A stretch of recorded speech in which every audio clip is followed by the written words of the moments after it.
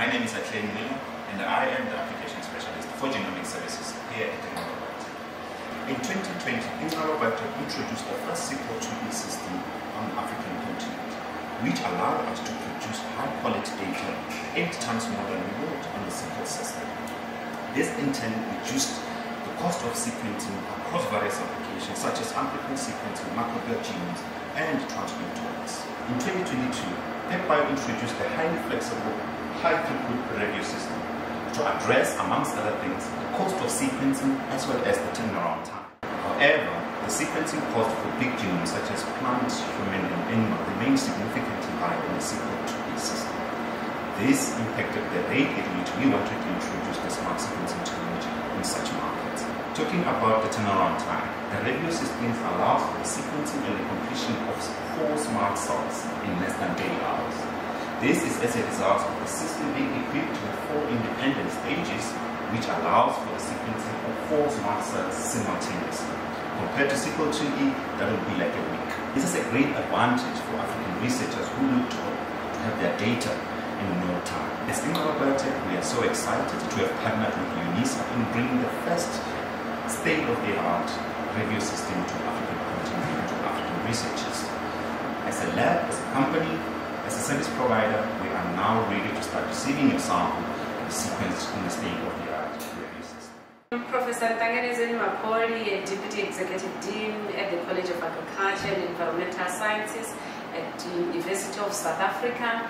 So we, this is very excellent uh, news for us and a good opportunity for us uh, seeing the PacBio platform actually growing in South Africa, especially now the acquisition of uh, PacBio Revio. So for us as University of South Africa, we're really happy to be able to collaborate with Inqaba Biotechnologies and be able to do the research together. And this is the, I think as, a, as, as an in, university and also Inqaba as an industry, this is the partnership that is required for South Africa to be able to grow. So for us, uh, University of South Africa, we've been working with Africa Biogenome Project for the past few years and the goal is to sequence all the genomes across Africa.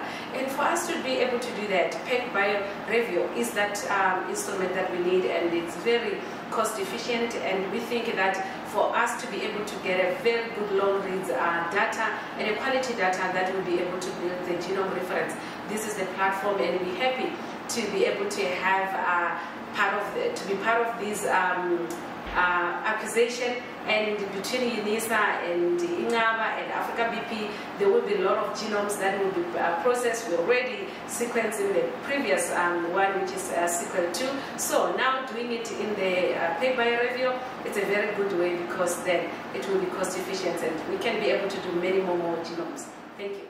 My name is Matladzi, an NGS lab technician here at Inqaba Biotec. Using the new Revio system, fewer kits are required in library prep up to sequencing across the various applications we provide. Using the new streamlined workflow, library prep is quick and efficient. Hi, my name is uh, Hamilton and I'm part of the NGS team at Inqaba Biotec. And uh, I'm one of the staff that handle data that comes off the instrument. And I think one of the advantages of the system is that not only does it produce um, high quality reads, uh, but when you actually work with these reads, it gives you one of the most comprehensive views of the genome. Uh, from the Revio data, not only do we have access to the genomic landscape of the human genome, uh, we also can zoom down into single nucleotide variations, uh, which is very important for a variety of applications. So I'm very excited data that comes off this instrument and for its future applications. My name is Professor Anne Muigai. I'm the Deputy Vice Chancellor in charge of Academic and Student Affairs at the National Defense University, Kenya. I am a professor of genetics and the chair of the African Biogenome Project.